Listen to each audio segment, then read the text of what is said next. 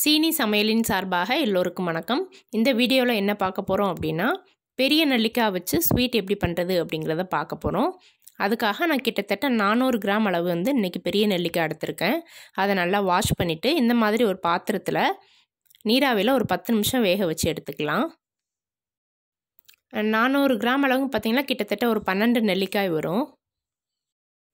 பத்து நிமிஷம் கழித்து பார்த்திங்கன்னா இந்த மாதிரி பாயில் ஆகி லைட்டாக வெடிச்சிருக்கும். பத்து நிமிஷம் பாயில் ஆனால் போதும். இதை நம்ம ஒரு பிளேட்டுக்கு மாற்றிட்டு அதில் ஈரப்பதம் இருந்தது அப்படின்னா ஒரு காட்டன் கிளாத்தோ இல்லை டிஷ்யூ பேப்பரோ வச்சு லைட்டாக தொடச்சிட்டு ஃபேனில் காய வச்சிடலாம். சப்போஸ் ரொம்ப ஈரப்பதம் இல்லைன்னா லைட்டாக ஃபேனில் கொஞ்சம் நேரம் வச்சாலே காஞ்சிரும்.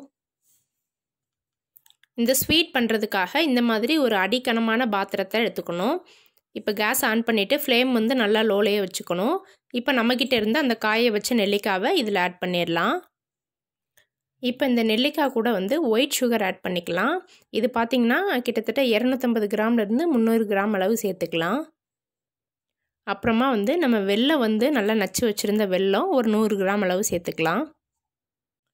இப்போ ஒயிட் சுகரும் வெல்லமும் சேர்த்ததுக்கப்புறமா நல்லா மிக்ஸ் பண்ணி விட்டுறலாம். நீங்கள் ஃப்ளேம் வந்து இந்த ஸ்வீட் செய்கிறதுக்கு ஃபுல் அண்ட் ஃபுல் லோவில் தான் வச்சுருக்கணும். அப்போ தான் உங்களுக்கு அடி பிடிக்காமல் இருக்கும்.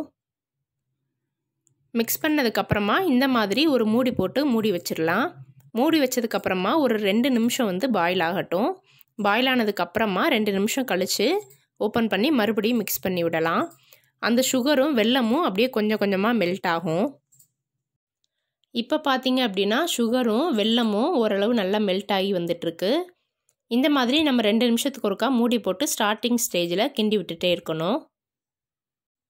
இப்போ பார்த்தீங்கன்னா சுகரும் வெல்லமும் ஃபுல்லாகவே நல்லா மெல்ட் ஆயிடுச்சு இருந்தாலும் நம்ம அந்த மாதிரி மிக்ஸ் பண்ணி விட்டுட்டு தான் இருக்கணும்.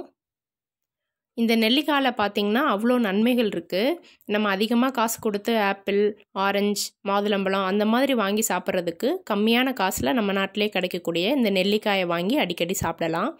ஏன் அப்படின்னா ஆரஞ்சு பழத்தை விட இதில் எட்டு மடங்கு அளவு விட்டமின் சி அதிகமாக இருக்குது மாதுளம்பழத்தை விட பதினேழு மடங்கு விட்டமின் சி வந்து இந்த ஆம்லாவில் அதிகமாக இருக்குது நம்மளோட நோய் எதிர்ப்பு சக்தியை வந்து நல்லா அதிகப்படுத்துறதுக்கு இந்த ஆம்லா வந்து நமக்கு ஹெல்ப் பண்ணும்.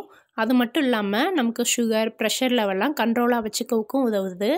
நம்ம முகத்தில் பிம்பிள்ஸ் இருந்தால் அதை சரி பண்ணுறதுக்கும் ஹெல்ப் பண்ணுது. நம்மளோட வயிற்று புண் வாய் புண் அதெல்லாம் சரி பண்ணக்கூடியது. வெயிட் லாஸ்க்கு ட்ரை பண்ணுறவங்களும் இந்த நெல்லிக்காயை வந்து தாராளமாக எடுத்துக்கலாம். வெயிட் லாஸ்க்கு ஹெல்ப் பண்ணும். இப்போ பார்த்தீங்கன்னா கலர் வந்து நல்லா சேஞ்ச் ஆகி வந்துருச்சு. அந்த நெல்லிக்காய் வந்து லைட்டாக மெரூன் கலரில் வர வரைக்கும் நம்ம இந்த மாதிரி குக் பண்ணணும். இதுக்கு எடுக்கிற டைம் அப்படின்னு பார்த்தீங்கன்னா ஒரு நாற்பதுலேருந்து ஐம்பது நிமிஷம் வரைக்கும் எடுக்கும். அது வரைக்குமே நம்ம கொஞ்சம் நேரம் மூடி போட்டு மூடி வச்சு அப்புறம் திறந்து அப்புறம் மிக்ஸ் பண்ணி விட்டுட்டே இருக்கணும். இப்போ பார்த்தீங்கன்னா நம்ம ஃபுல்லாக ரெடி ஆயிடுச்சு. பாருங்கள் பார்க்குறதுக்கே எவ்வளோ அழகாக இருக்குது அப்படின்னு. நல்லா அந்த பாகுமே கொஞ்சம் திக்காகி நெல்லிக்காய் எல்லாமே நல்லா மெரூன் கலரில் மாறிடுச்சு. இந்த ஸ்டேஜில் வந்து நம்ம வந்து ஆஃப் பண்ணிவிட்டு இறக்கி வச்சிடலாம். ஒரு டூ டூ த்ரீ ஹார்ஸ் வந்து அப்படியே இருக்கட்டும்னு விட்டுருங்க. நல்லா கூல் ஆகட்டும். இப்போ த்ரீ ஹார்ஸ் வந்து நல்லா கூல் ஆயிடுச்சு இப்போ பார்த்திங்கன்னா இன்னும் கொஞ்சம் டார்க் கலரில் இருக்கும். மெரூன் கலரில் பார்க்கவே ரொம்ப நல்லாயிருக்கும் டேஸ்ட்டும் ரொம்ப ரொம்ப நல்லாயிருக்கும் சில பேருக்கு அந்த நெல்லிக்காயில் இருக்க கசப்பு தன்மை துவப்பு தன்மைலாம் பிடிக்காது. அந்த மாதிரி பிடிக்காதவங்க இந்த மாதிரி ஸ்வீட்டாக செஞ்சு வச்சுக்கிட்டிங்க அப்படின்னா அப்பப்போ சாப்பிட்டுக்கலாம். அந்த கசப்பே தெரியாது. இதை பார்த்தீங்கன்னா அந்த காற்று போகாத கண்டெய்னர் அந்த மாதிரி எதுவும் இருந்ததுன்னா அதில் போட்டு நீங்கள் ஃப்ரிட்ஜில் ஸ்டோர் பண்ணிக்கலாம். ஒன் இயர் வரைக்கும் கெட்டே போகாது. ஏன் அப்படின்னா இதில் நம்ம தண்ணியே சேர்க்கவே இல்லை. நான் சுகர் வெள்ளத்திலே செஞ்சுருக்கேன். கெட்டு போகவே போகாது. நீங்களும் வீட்டில் இந்த மாதிரி ட்ரை பண்ணி பாருங்கள் ஒன் இயர் வரைக்கும் ஸ்டோர் பண்ணலாம் அப்படிங்கிறதுனால நீங்கள் மொத்தமாக செஞ்சு கூட வச்சுக்கலாம். இந்த நெல்லிக்காயில் நிறைய ஹெல்த் பெனிஃபிட்ஸ் இருக்கிறதுனால கண்டிப்பாக ரெகுலராக எடுத்துக்கோங்க. ரொம்ப ரொம்ப நல்லது. இந்த வீடியோ உங்களுக்கு பிடிச்சிருந்ததுன்னா மறக்காமல் என்னோடய சேனலுக்கு சப்ஸ்கிரைப் பண்ணி சப்போர்ட் பண்ணுங்கள் பெல் ஐக்கானே கிளிக் பண்ணிக்கோங்க. அப்போ தான் அடுத்தடுத்த போடுற வீடியோஸ் உங்களுக்கு நோட்டிஃபிகேஷனில் வரும். லைக் பண்ணுங்கள் கமெண்ட் பண்ணுங்கள் உங்களுக்கு தெரிஞ்சவங்களுக்கெலாம் ஷேர் பண்ணுங்கள் இவ்வளோ நேரம் பொறுமையாக என்னோடய வீடியோவை பார்த்ததுக்கு ரொம்ப நன்றி.